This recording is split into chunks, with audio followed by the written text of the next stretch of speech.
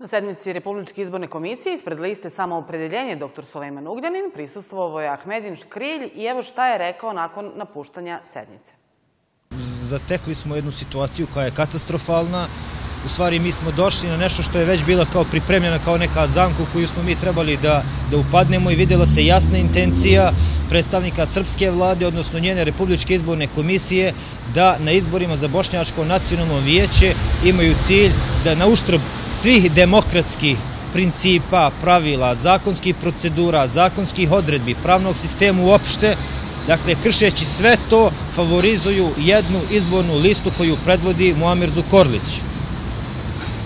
Mi smo taj sastanak, mi smo taj sastanak napustili, jer nismo želeli da damo legitimitet takvoj, takvoj jednoj namjeri.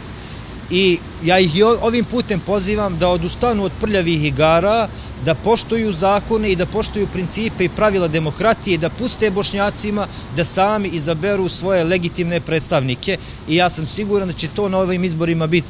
u prvom redu izborna lista samoopredjeljenje. Nama je jako važno da ovi, da, da ovi izbori proteknu u demokratskoj atmosferi, jer su izbori za bošnjake svečanost i svečani čin. I, i nećemo dozvoliti e,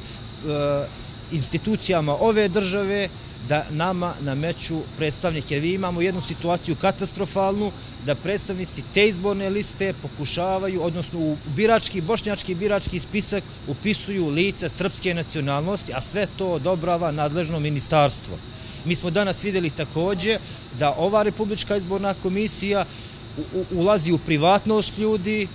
krši sve propise koji, su, koji se tiču zaštite tajnosti podataka, i ponaša se po principu i maniru Udbe još iz Rankovićevog i Miloševićevog vremena.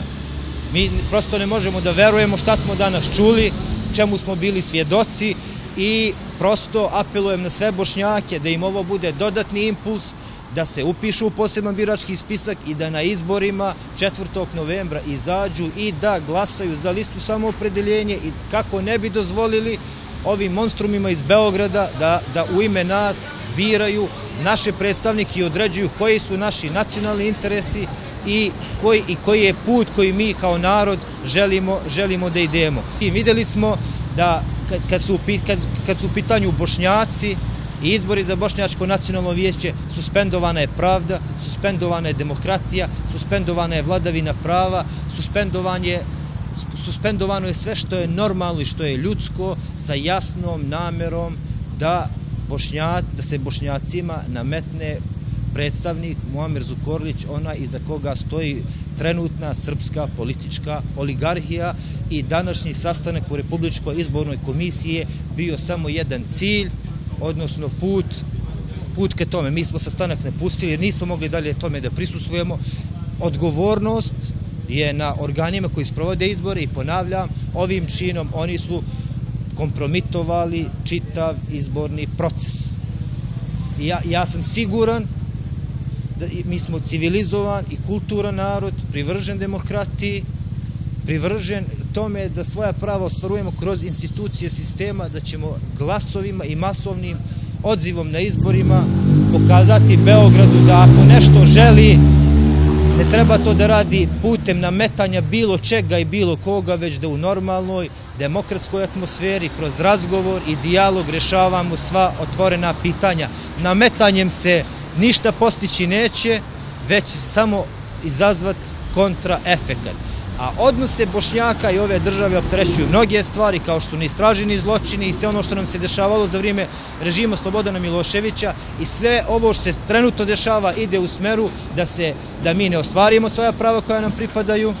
da, se ne, da ne budemo ravnopravni građani ove države sa svim ostalim narodima koji ovdje žive i da se legalizuju zločini počinjeni među nama. Mi ćemo se tome suprostaviti i to nećemo dozvoliti. I još jedna važnja činjenica koju moram da, da napomenu u vezi ovog sastanka jeste ta da je danas e, bio, e, e, bio jedan pokušaj da se za Bošnjačko nacionalno vijeće uspostave posebna izborna pravila u odnosu na sva ostala nacionalna vijeće u ovoj državi suprotno ustavu, suprotno zakonu i suprotno dokumentima, odnosno aktima koji regulišu izborni proces. Iz tog razloga mi nismo želili tome da damo legitimitet, napustili smo sastanak i nadam se da će se ljudi koji su danas ovo pokušali, a inače su i preduzeli prije toga neke radnje, da će se dozvat pameti, sagledat šta sve ovakav njihov odnos prema našem pitanju može da proizvede, kakve posljedice i da će postupiti normalno onako kako to zakon nalaže, a ne kako to od njih traži bilo koji državni funkcioner ili njihov miljenik i pulen u Sanđaku.